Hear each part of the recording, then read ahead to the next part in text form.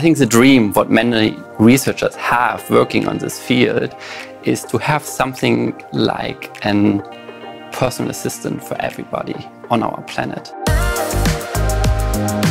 Generative AI is something as an intelligent system which is able to generate data which looks very similar to real data is really powerful. This can be used for generating text that looks like human written text, or for generating sound, sounds like human generated sound, or generating images, which looks like human generated images.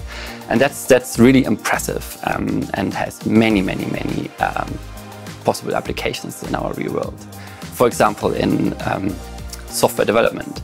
I think the time uh, nowadays from an initial idea to a first prototype in software decreased a lot. Uh, we can now, within a few days, we have a prototype of algorithms.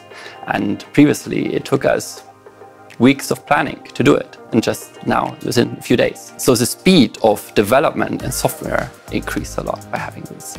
But also in other fields, like uh, when you're a journalist, writing news articles, when this is your daily job, getting uh, some, some support in writing the articles much faster and in a much higher quality is a big help for them.